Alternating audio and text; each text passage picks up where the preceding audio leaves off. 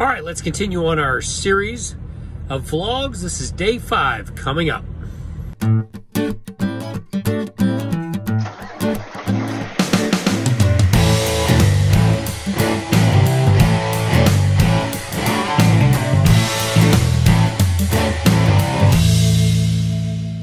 Okay, we left off yesterday. I was number four on the list while I was waiting at Atlanta Heartland Express.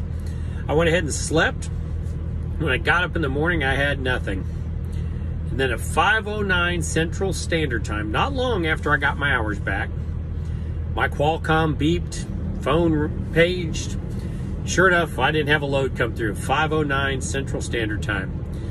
Looked at the load. Load said I was going to pick up a load in Albany, Georgia, at a place that we pick up loads quite frequently. Been there before. Drop and hook, easy. And then I was supposed to take that load to look like Covington, Kentucky. But when I looked at the mileage, something didn't look right because it had 166 empty miles and I only 215 loaded. So I sent a message for clarification. Turns out I was only to take it to our Cartersville yard where somebody else would be taking it to Covington, Kentucky because the load doesn't deliver right away. Made sense in the end. So it wound up being a 370 mile, 371 mile run.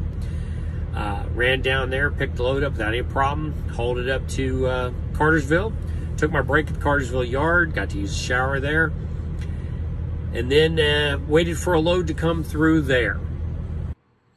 All right, when we look at today's map, you'll see I left from Heartland Express, went down to Albany, Georgia, picked up the load, and headed north. Dropped that load at Cartersville. After dropping that load at Cartersville, I took off to pick up my next load, and I wound up at Love's Travel Stop. Doing my walk around, I discovered that the tire on the front left was not holding its pressure. We have automatic inflation system, so I could not check the pressure, but it was not holding its pressure. So I drove across the street to Love's because they have a tire shop that our company uses, and I called Black River, and they gave them the authorization to replace the tire or fix it as necessary.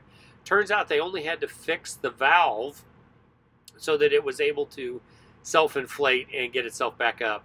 But as a result, I ran out of hours while waiting for this repair to be finished so I will be overnighting at Love's and leave early in the morning for Ohio on a run that I've got.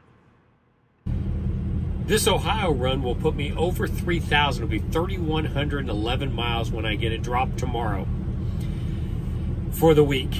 Um, I'm still not quite out of hours. I'm not sure if they'll have anything else for me or if I'll be going to the Trenton yard to do a reset.